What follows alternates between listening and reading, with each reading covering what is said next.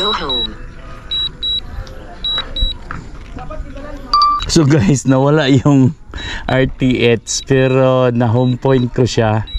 So titingnan natin, pauwi na siya ngayon. Pauwi na ang drone. Hindi na siya connected sa ano natin. Buti na lang safe dito, walang ano, walang matataas na puno. Ayun. so check natin guys, wala yung signal. So hindi na makontak. Ayan, tingnan no. Nag-return home siya, Ime. Nawala siya, nawala yung signal pero mag-return home siya. Pero Oh, yun. So guys, nawala yung RC signal ko. Pero yung drone nakaset ako sa home point kaya yan na siya. He is coming down. so yan ang kagandahan pag naset mo sa home point. So i-calibrate ko ito ngayon.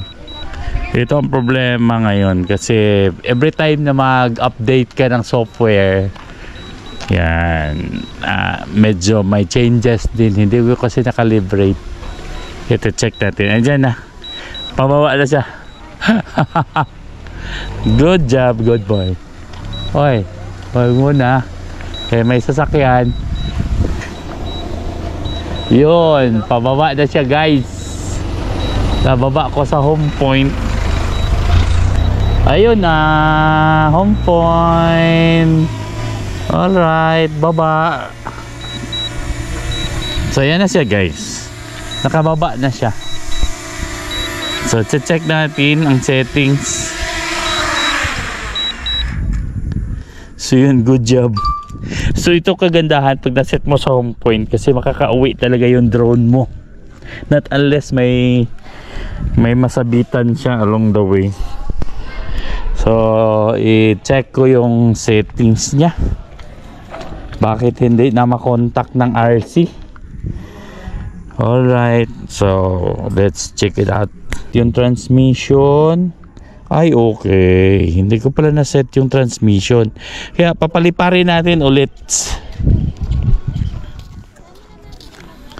Papaliparin natin siya ulit guys. And then, uh, don't forget to set the home point para kung sakaling magka-aberya yung ano, makakauwi pa rin siya. So, yun.